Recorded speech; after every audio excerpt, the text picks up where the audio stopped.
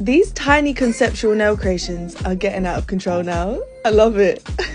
the detail on this one is actually crazy. So, Umberto Giannini challenged me to make a mini curl jelly bottle, and I said challenge accepted.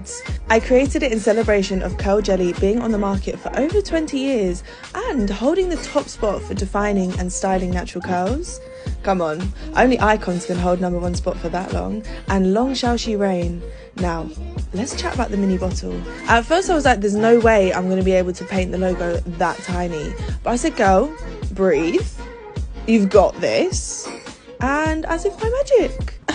Imagine magic, if only. But look, the open lids with the gel squeezing out. What? Elevated, elevated. I'm actually so happy with how it turned out. It's like, honey, I shrunk the iconic curl jelly. Forget travel size, they need to start making mini minis. It's too cute. But go grab your curl jelly from Boots now and find out for yourself why she's number one.